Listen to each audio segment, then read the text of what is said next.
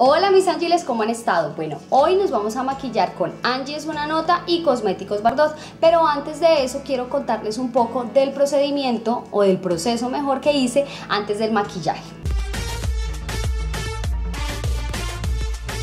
Lo que hice fue que me exfolié mi rostro con un jabón para que la piel estuviera bien limpia y ahora voy a utilizar un producto que me obsequiaron las personas de la marca Laforet es un súper, súper regalo y yo se los quiero mostrar el día de hoy para que ustedes empiecen a utilizarlo.